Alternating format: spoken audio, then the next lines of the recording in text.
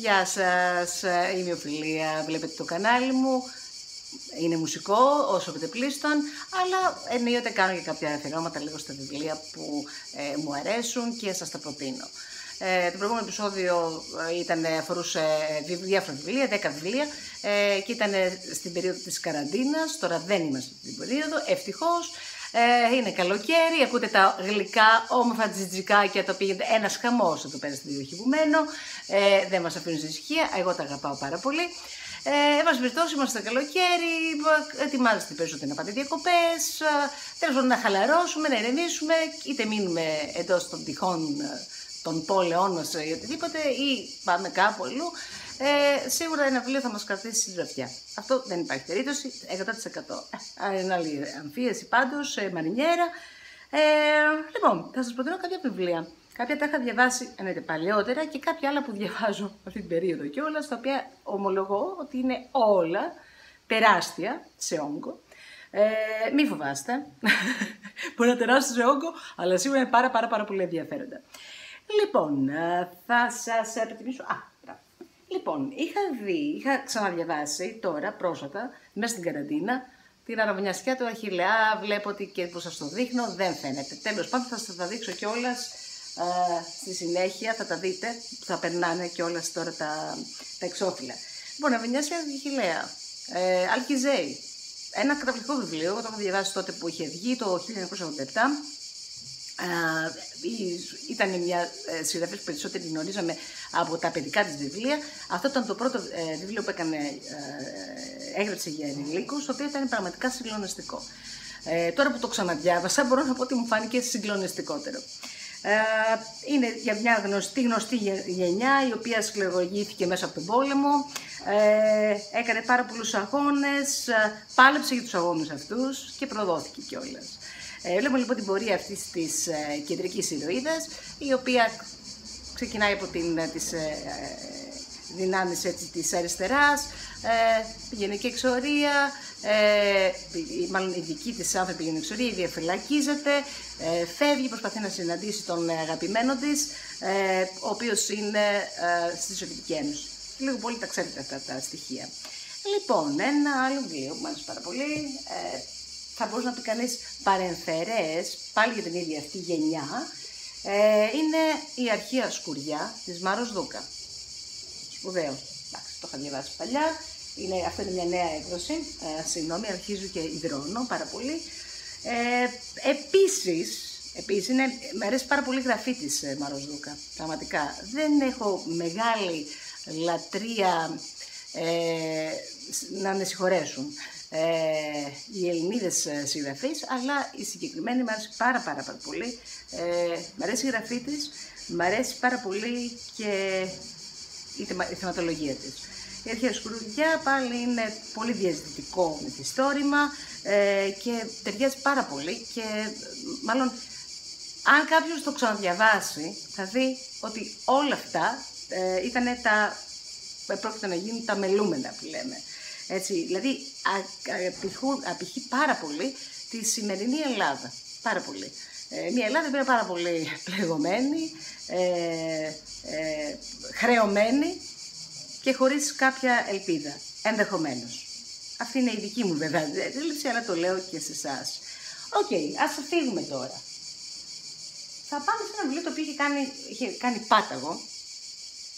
Αυτό και αν είναι πάρα πολύ ε, επίκαιρο, και πάρα πάρα πολύ, ε, εντάξει, στους ανθρώπους που έχουν και μία τάση να βλέπουν ε, το μέλλον λίγο με ζοφερά ε, χρώματα και είναι και το Σμήνος του Φρανκ Σέτσινγκ.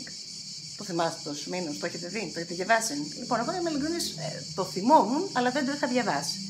Το ανακάλυψα, το βρήκα, μου το, μου το δώσανε ε, ο μου Βιβλιοπόλης στην περίοδο της καραντίνας, ήρθε το βιβλίο, το, βιβλίο, το διάβασα.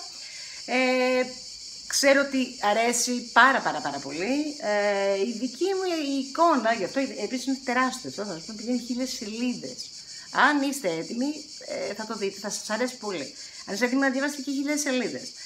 Λοιπόν, είναι πολύ ε, μελλοντολογικό. Δηλαδή θα έλεγες ότι είναι, είναι, έχει γίνει τώρα. Πού το είδε αυτός τώρα, αυτό το πράγμα; Ήταν, το βιβλίο ήταν το 2000, το 2007 νομίζω. Ε, είναι, δείχνει γενικά πώς έχει αλλάξει η φύση και μέσα σε αυτό αλλάζει και ο άνθρωπος. Τα πράγματα γίνονται πολύπλοκα και δυσάρεστα και ίσως είναι και η καταστροφή της φύσης και του ανθρώπου μαζί. Λοιπόν, μου άρεσε, θεώρησα ότι πλατείασε πάρα πολύ, θα μπορούσε να ήταν περίπου μισός όγκος, σίγουρα και απορώ κιόλας πώς δεν έχει γυριστεί ήδη ε, ταινία. Γιατί μπορεί να γίνει άνετα μια εκπληκτική ταινία, ε, θα μου πεις χουλουδιανή, προφανώς, αλλά που θα έχει παρόλα αυτά και κάποιο βάθος, γιατί έχει ωραία ε, σεραριακή ιδέα ή μια πολύ ωραία ε, ε, ιδέα στο βιβλίο. Λοιπόν, το άλλο. πού το. Α, α, και ήθελα να, να σου το Ένα άλλο λοιπόν που μου άρεσε πάρα πολύ, το είχα διαβάσει πέρσι, είναι του Ζήνο Ζήνη, ε, το συνέδριο των νεκρών. Λοιπόν, αυτό το βιβλίο τώρα είναι, γράφηκε λίγο μετά τον α, Πρώτο Παγκόσμιο Πόλεμο. Πολύ, πολύ επίσης επίκαιρο.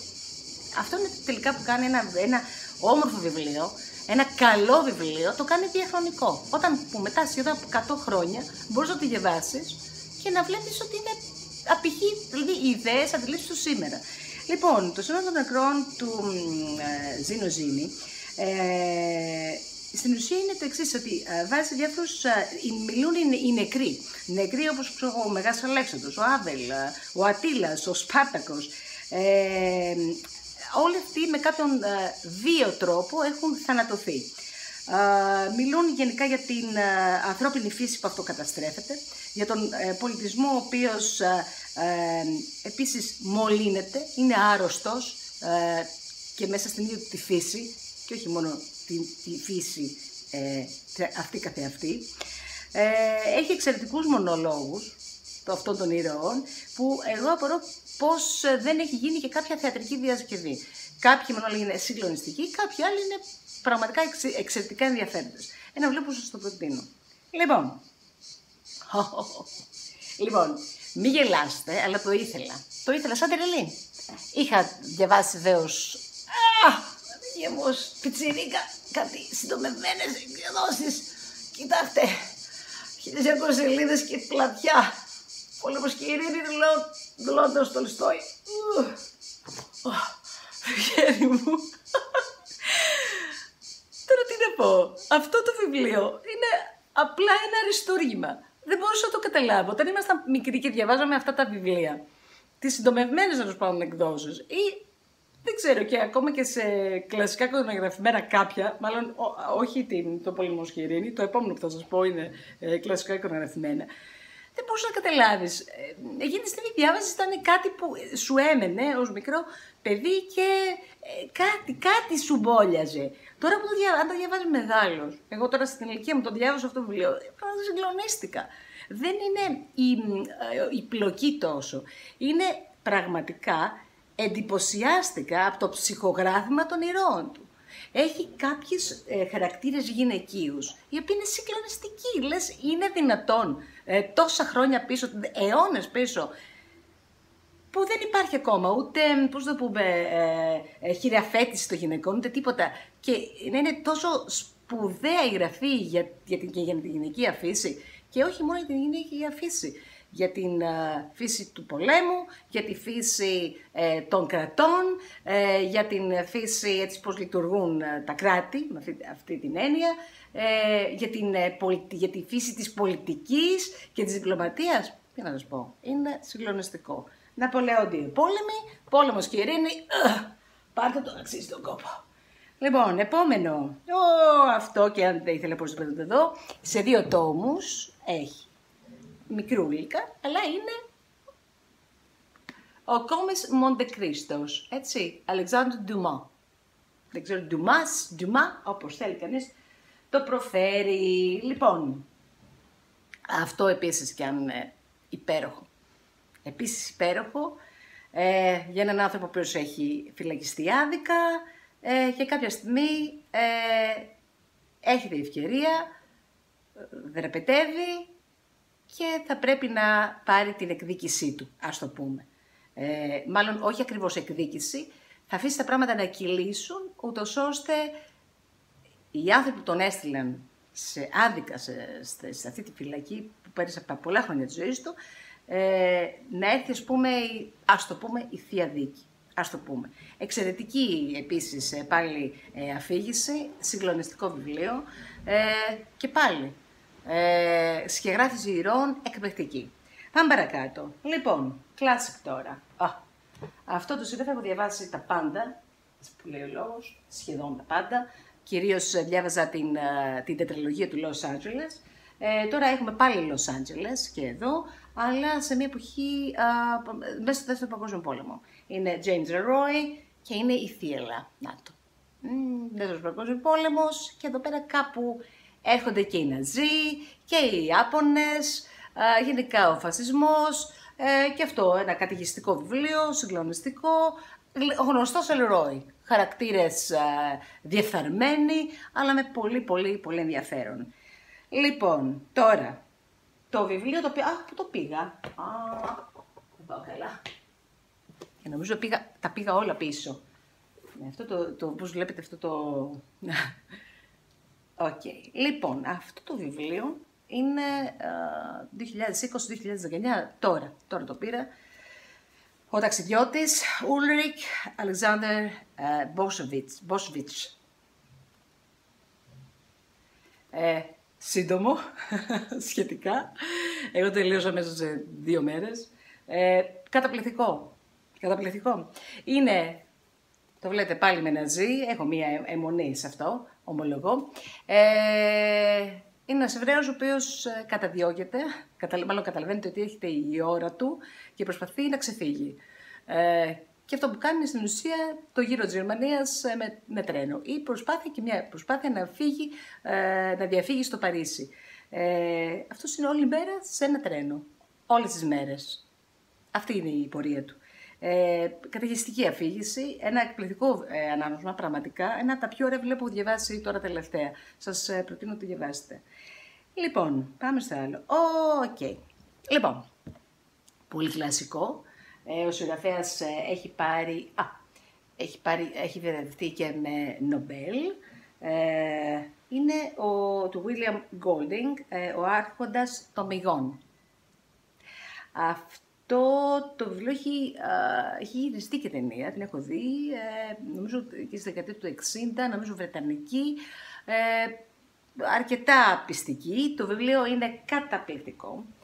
Ε, επίσης, πάλι μιλάμε για την ανθρώπινη φύση, ε, η ανθρώπινη φύση δηλαδή που είναι πραγματικά έτοιμη να ε, πραγματικά βγάζει όλη της τη, την κακία, όλη της την, ε, την, τον αποτροπιασμό με άνεση και πώς εύκολα από ένα ε, άγριο θερίο που υποτίθεται ήταν και ο άνθρωπος και που έχει εξελιχθεί και είναι πολιτισμένος, τελικά είναι ένα, ε, ένα λυσαλαίο ζώο, ένα, ένα ε, πραγματικό κτίνος. Και αυτό ακριβώς δείχνει.